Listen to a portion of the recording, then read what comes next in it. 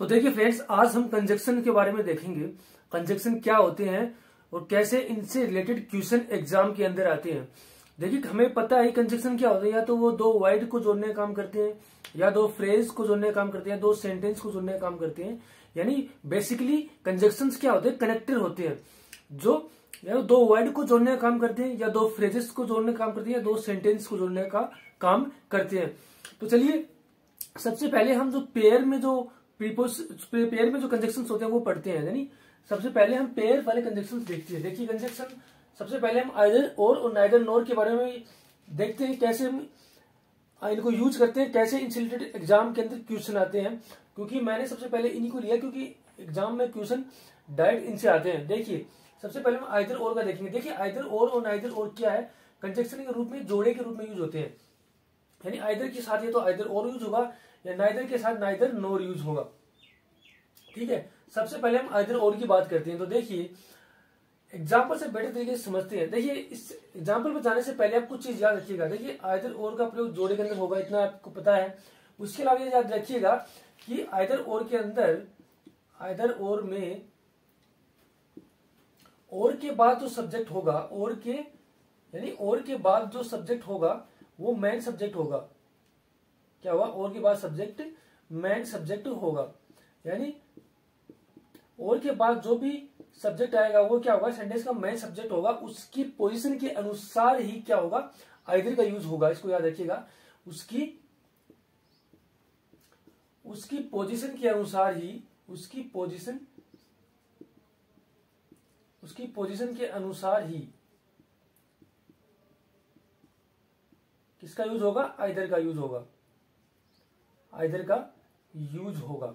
यानी और के बाद जो भी नाउ जो भी सब्जेक्ट आएगा, उसके अनुसार हम किसका प्रयोग करेंगे? आइडर का यूज़ करेंगे। और एक बात ये भी याद रखिएगा कि जैसे एग्ज़ाम्पल समझते बैठते देखिए either they or I am is are going to do it तो देखिए, इसमें से हमें बता रहा है कि आइदर के बाद आइदर के बाद, और के बाद आई एम इज़ आर में तीन हेल्पिंग वर्ब देंगे इनमें से कौन सा आएगा? तो आई के साथ हम एम का यूज़ करेंगे, क्योंकि देखिए यूजुअली क्या होता है, जो और के पास जो सब्जेक्ट होगा ना, यानी और जो कंजक्शन है, इसके पास जो सब्जेक्ट होगा ना, उसी को हम मेन सब्जेक्ट समझेंगे। उसी के अनुसार यहाँ पर जो वर्ब आएगा, वो आएगा।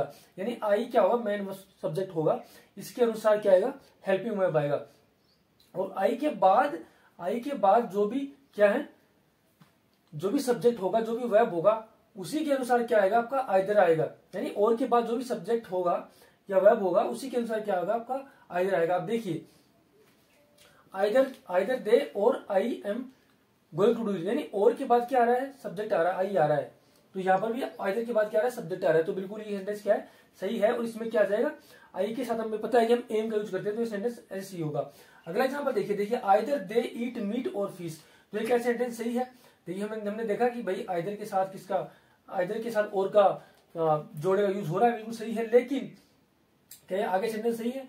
मैंने आपको बताया कि और के बाद जो सब्जेक्ट होगा, वो मेन सब्जेक्ट होगा, उसी के अनुसार ही आइदर किसके पहले आएगा, वो डिसाइड होगा। यानी इसके पहले फ़ीस क्या है नाउन है। यानी आइदर के बाद भी क्या आना चाहिए नाउन आना चाहिए। लेकिन यहाँ पर क्या आ रहा है प्रनाउन आ रहा है। तो ये सेंटेंस क्या होगा रोंग होगा। हम इसको आइदर को यहाँ से हटाकर क्या करेंगे, यहाँ करेंगे। यानी पोजिशन क्या होगी, ये होगी। एग्जिट सेंटेंस क्या होगा? एग्जिट सेंटेंस ऐसे होगा ये। देखिए they they eat either meat or fish exact sentence ये सही होगा। यानी और के बाद अगर नाउन है और के बाद अगर नाउन है या एडजेक्टिव है तो आइदर के बाद भी नाउन या एडजेक्टिव होना चाहिए। लेकिन यहाँ पर क्या है? और के बाद नाउन आ रहा है यहाँ पर नाउन आ रहा है। इसलिए हम क्या करेंगे? आइदर की कंडीशन चेंज करेंगे। और यहाँ पर क्या है? मीट क्या है? नाउन तो मीट के बाद इसको मीट के पहले इसको रख दिया हमने। यहाँ पर देखिए आइदर यानी मीट के पहले हमने किसको कर दिया? आइदर को यूज़ कर लिया। क्योंकि और के बाद क्या है? नाउन आ रहा है तो आइदर के बाद भी नाउन आना चाहिए। मैक्सिमम आजकल एग्ज़ाम के अंदर क्वेश्चन यही से आ रहे हैं पोजिशन से रिलेटेड उसको अब याद रखिएगा। अगला एग्ज़ाम्पल देखिए। Karan will either buy a car or bike तो देखिए आयदर और का यूज़ हुआ है। इसमें तो कुछ कोई दिक्कत नहीं है, क्योंकि हमें सबको पता है आजकल कि आयदर के बाद और आएगा नाइदर के बाद नोर आएगा। लेकिन जो एरर आएगी वो पोजिशन रिलेटेड एरर आ रही है आजकल। तो आइदर के बाद हमें प्लेयर पता चलेगा नाउन बाइक क्या है नाउन है। यानी, और के बाद क्या है बाइक बाइक क्या है नाउन यानी आइदर के बाद भी क्या चाहिए नाउन आना चाहिए। तो क्या आइदर के बाद नाउन आ रहा है? बू यानी खरीदना है। मतलब मीन्स ये तो वर्ब होगी क्या है वर्ब तो सेंटेंस रोंग हो गया तो।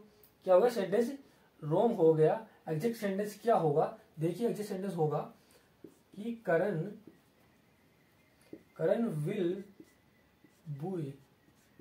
अच्छा हमें कैसे पता चला कि ये वर्ब है? क्योंकि विल के साथ हमेशा क्या आती है मुख्य की फ़र्स्ट फॉर्म आती है। तो यहाँ पर विल की क्या ये क्या रहा? मुख्य की फ़र्स्ट फॉर्म में काम कर रहा है। इसलिए क्या है? वर्ब है। अब देखिए सेंटेंस एग्जैक्ट सेंटेंस सही कैसे होगा? Karan, will, buy, either a car, or bike ये सेंटेंस होगा एग्जैक्ट सही।